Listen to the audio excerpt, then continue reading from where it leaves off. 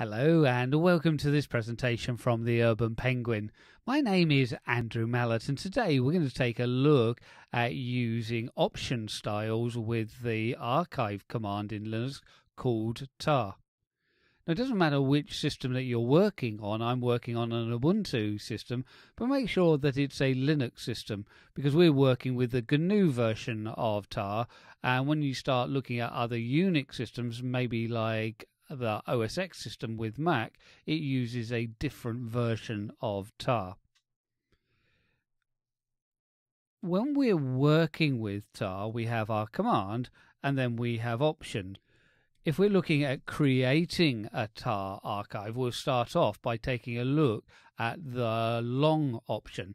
Now, the long option is fairly descriptive, isn't it? It's long, a lot of typing, but it becomes reasonably easy to read and understand what we're putting in. So we can say that we want to create an archive and we're going to create it. So we're going to back up to the file and I'm just going to call it my.tar. It will create the file if it doesn't exist. It will overwrite the file if it does exist. And we're going to back up. We'll back up the etc host file because we all have one of those and etc services. I'm just using these files because we know we're going to have these files on any Linux system. And that's all well and good and we can see without having to put too many options in there, the command line isn't too long. But we're very easy to be able to understand what exactly is going on. When we look at the corresponding short option, so tar minus c minus uh, f for the file name, we don't use the equal now, so just goes to my.tar. This isn't too bad either because it's relatively short.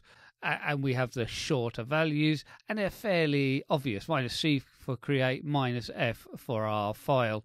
And then, of course, we can put in those same options, so host and etc slash services.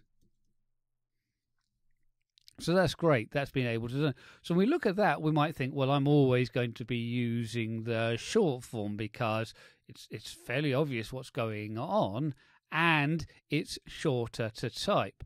But let's take a look if I wanted to list the contents of the file. We would use tar minus minus list in the long format, minus minus file, and then that equals my dot tar and then we see what's included within our archive. And again, it's fairly obvious what's going on. When we look at it with the uh, shortened form, it's going to be minus t minus f. Now, the minus t then doesn't really tell you a lot about what's going on, and, and it's not to me obvious that that means list. So we can see there's no right way or wrong way to do this. However, there's a further advantage that we get with the short form is that we can concatenate these options together. Just make sure if you've got an option like minus f, that has to be followed by a value, the file name. Make sure that it does follow the, the, the file name does follow it rather than another option.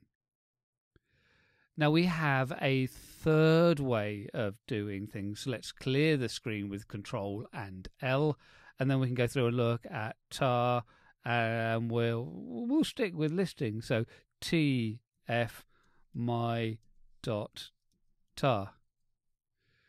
So we don't have to put the dash in front. So the old style doesn't use the dash, but then we could easily become confused about what's actually going on here.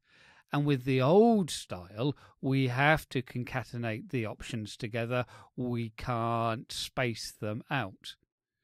So the old style, you can guess by the name, you're probably not going to see too much, but you might see a little bit of the long style, but commonly you see the short style. In my demonstrations, I'm going to try and stick to the long style, just so it's more obvious what's happening on the command line. But thank you very much for watching, and I do look forward to seeing you again on the Urban Penguin channel very soon.